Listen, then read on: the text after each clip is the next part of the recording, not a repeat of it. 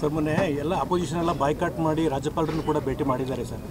ಏನಿದು ಯಾವ ಥರ ನೀವು ಮೊನ್ನೆ ಅಸೆಂಬ್ಲಿನೂ ಕೂಡ ಬಾಯ್ಕಾಟ್ ಮಾಡಿ ಅಪೋಸಿಷನ್ ಲೀಡರ್ಸ್ ಎಲ್ಲ ಹೋಗಿ ರಾಜ್ಯಪಾಲರನ್ನು ಕೂಡ ಭೇಟಿ ಮಾಡಿ ಅದು ರಾಜಕೀಯ ಮಾಡ್ತಾ ಇದ್ದಾರೆ. ಯಾಕಂತಂದರೆ ಭಾರತೀಯ ಜನತಾ ಪಕ್ಷದಿಂದ ಇಬ್ಬರು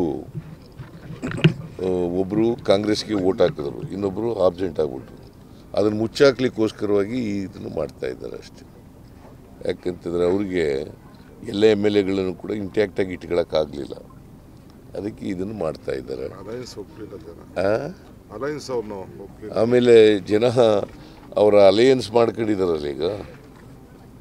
ಅನ್ನಿತಿಕಲ್ ಆಗಿ ಅದನ್ನು ಒಪ್ಪಲ್ಲ. ಇಲ್ಲಿವರೆಗೆ ಏನು ಹೇಳ್ತಾ ಇದ್ರು ಬಿ ಜೆ ಡಿ ಎಸ್ನವರು? ಯಾವ ಕಾರಣಕ್ಕೂ ಕೂಡ ಕೋಮುವಾದಿಗಳ ಜೊತೆ ಹೋಗಲ್ಲ ಅಂತಿದ್ರು. ಅಲ್ವಾ?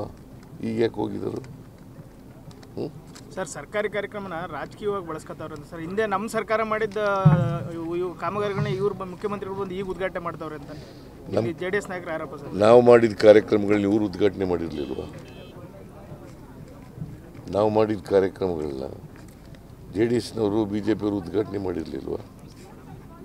ಸಿ ಎಷ್ಟು ಸರ್ಕಾರ ಅಂತಂದರೆ ಒಂದು ಕಂಟಿನ್ಯೂಯಸ್ ಎಷ್ಟು ಇದು ಅದು ಎಸ್ಟಾಬ್ಲಿಷ್ಮೆಂಟು ಅದು ನಾವು ಹಿಂದೆ ಬೇಕಾದಷ್ಟು ಕಾರ್ಯಕ್ರಮಗಳನ್ನು ಮಾಡಿದ್ದು ಅವೆಲ್ಲನೂ ಕೂಡ ಇವ್ರ ಕಾಲದಲ್ಲಿ ಉದ್ಘಾಟನೆ ಮಾಡಿದ್ರು ಶಂಕುಸ್ಥಾಪನೆ ಮಾಡಿದ್ರು.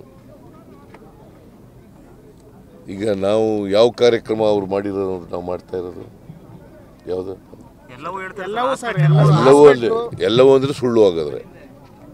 ಸ್ಪೆಸಿಫಿಕ್ ಆಗಿ ಹೇಳಬೇಕು ಇಂಥ ಕಾರ್ಯಕ್ರಮ ನಮ್ಮ ಕಾಲದಲ್ಲಿ ಮಾಡಿತ್ತು ಅದು ಆಯ್ತಪ್ಪ ಈಗ ನಮ್ಮ ಕಾಲದಲ್ಲಿ ಪೂರ್ಣ ಆದರೆ ಏನು ಮಾಡಬೇಕು ಅದನ್ನ ಅವ್ರನ್ನೇ ಕರೆದು ಉದ್ಘಾಟನೆ ಮಾಡಿಸ್ಬೇಕಾ?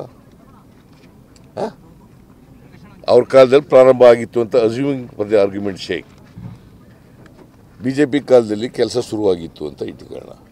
ನಮ್ಮ ಕಾಲದಲ್ಲಿ ಕಂಪ್ಲೀಟ್ ಆಗುತ್ತೆ. ಆಗ ಬಿ ಜೆ ಪಿಯವ್ರನ್ನ ಕರೆದು ಮಾಡಿಸ್ಬೇಕಾ?